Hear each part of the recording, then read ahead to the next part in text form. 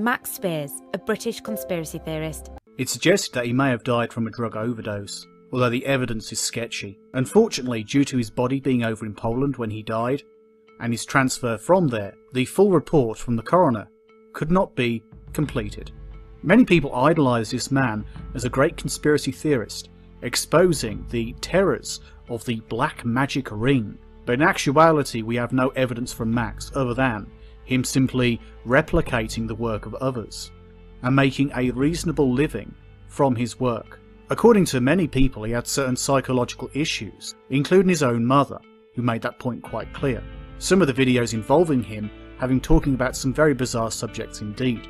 Also, he doesn't provide any real evidence for these claims. Some of the more ridiculous claims involve satanic cults everywhere, politicians, the top police officers and military officers, and just simply the incredibly wealthy are basically all involved in evil and child sex murders.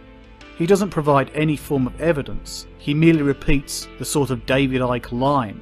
He's also made a great many claims about aliens and many other things which also cannot be supported. But in the conspiracy theory hardline groups, you get these people who don't even criticise this kind of view. The controversy to do with his death is one of those things where conspiracy theorists will simply say anything to make their theories work.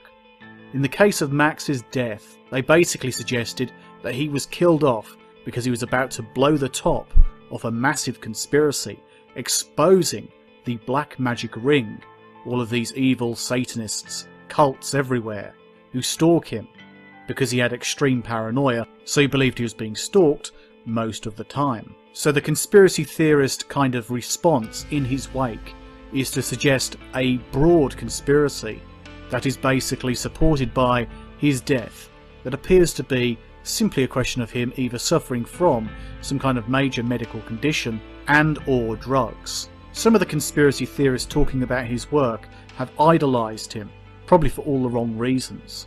One of these people is Rose New Blueprint, who for over a year has been promoting his ideas using his relative popularity with some conspiracy theorists to grow her channel and get quite a lot of views from the dead corpse of Max Spiers.